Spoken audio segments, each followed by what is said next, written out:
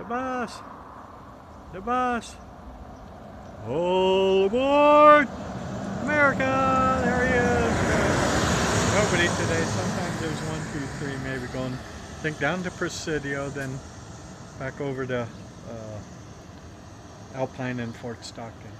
But if I want to go to El Paso and Phoenix, you got to go down that way to El, Presidio and then back up and all down. over a day where 70 miles I could pedal that to Van Horn.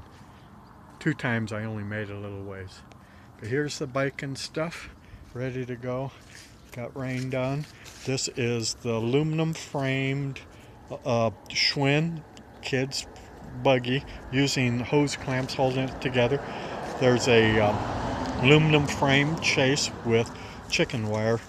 Uh, so it's rather sturdy and actually like if I get caught in a hailstorm I'm getting underneath this thing. So it it'll start to go through this but with the chicken wire too.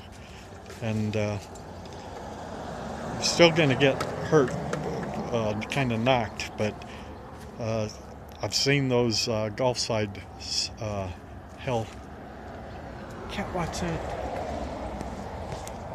and again Graybeal study I'm doing that on Ancestry old cameras flashes old CDs of my movies all the DVDs I made oh this is the other stuff for camping but this buggy oh, with rack and spare tires. I couldn't, should take it, but gosh, it's just getting too heavy to take everything. Uh, there's uh, probably like three tents of one man, two man, three man, and I forgot what's on here, but uh, I think inside is either a one or two man, and vice versa. My bed is inside of a tent here, so here's a pillow. I just open this up fold it open and crawl inside. And uh, if I could, I'd, on the bike, I'd pull this first and this lightweight bed uh, behind. But kind of hard going. Good day for me, Mark S.G. Graybeal that is. In Marfa, Texas. Trying to get the courage to, oh there's Primo Carrasco. Uh, musician. Uh, Tejano uh, Ranchera music.